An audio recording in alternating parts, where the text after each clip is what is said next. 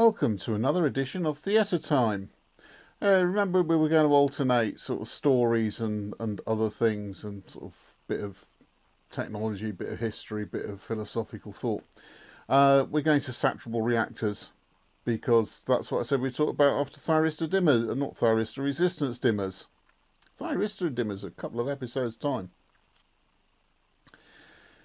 Saturable reactor came out the auto transformer that I said we weren't going to talk about. You can still buy auto transformers, not as theatre dimmers, but you know, if you look on eBay and search for Variac, or just search for Variac, you'll find auto transformer type thing.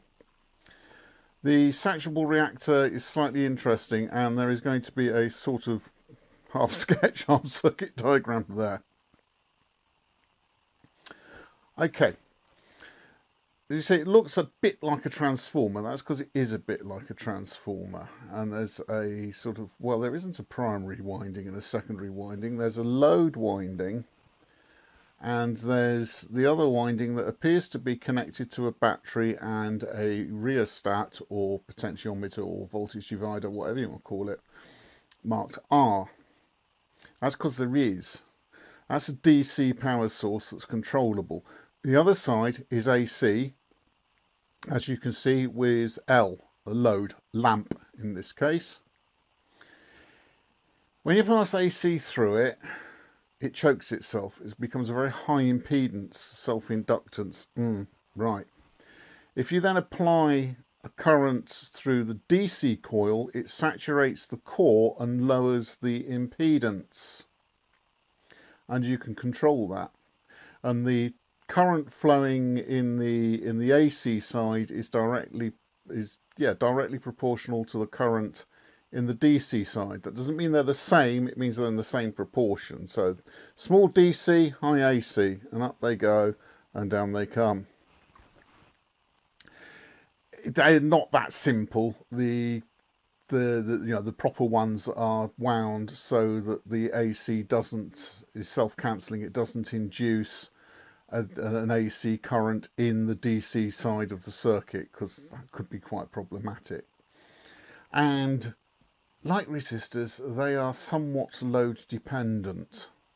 So when they were in use in theatres all the time, uh, they would have variable taps on the AC side. On the AC coil would have taps at different points, so you could adjust the um, the impedance according to your load okay, some people said they were portable uh, with a lorry, a forklift truck. The downsides of the saturable reactor are they weighed a ton because uh, they're all iron core. Uh, they were somewhat load dependent and they had a slight habit of retaining the memory of the last state under certain conditions. If you had a nice state up and you went to a snap blackout, the cores would remember that for a while. So you take down the master fader, reset whatever, and click, and it would boom, previous state momentarily until the cores forgot it, which is usually quite quick. Doesn't always happen, only happens under certain circumstances, can be annoying, can be highly entertaining, of course. The big advantage with, with them was they were proper full remote control. They were controlled purely by electricity. They were no moving part dimmers. And they tended not to mind getting hot either. They tended, I if you overload them, they'll catch fire, but they, they, they tended to be quite well behaved.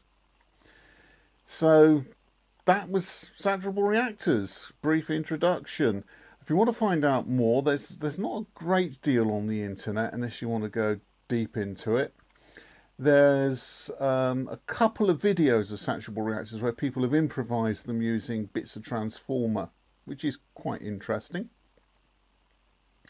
And as far as I know, there are none still alive.